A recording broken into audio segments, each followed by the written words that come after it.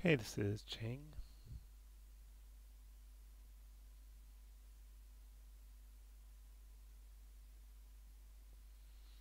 Um, I would say the the camera is maybe a bit much. It's kind of distracting. Um, I would look more at your poses. Um, let's take a look at Maya. Um, so it's it looks pretty off balance. Um, so if you look here, it, uh, the feet are kind of they're not really landing flat on the ground.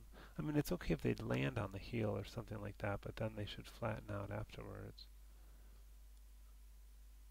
Um, and he's, you know, generally the root is going to be centered over the um,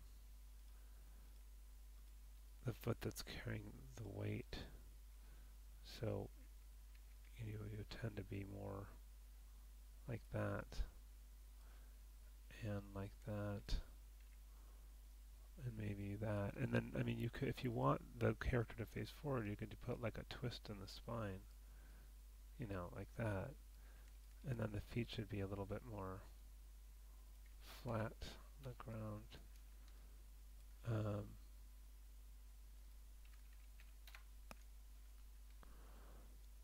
and then move that up so I've got auto keyframe on, so those should all be keyframes.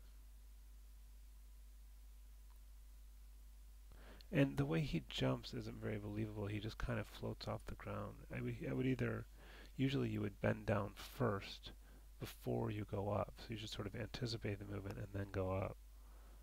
But, but right now it looks like he just sort of floats off the ground.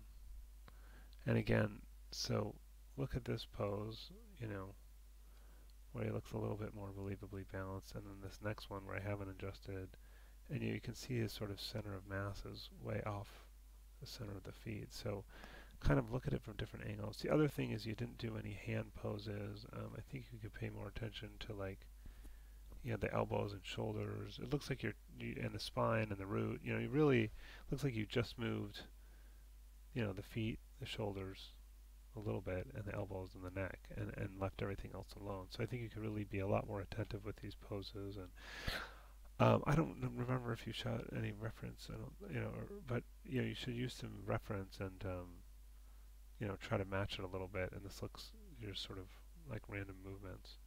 I'd also consider simplifying your camera move.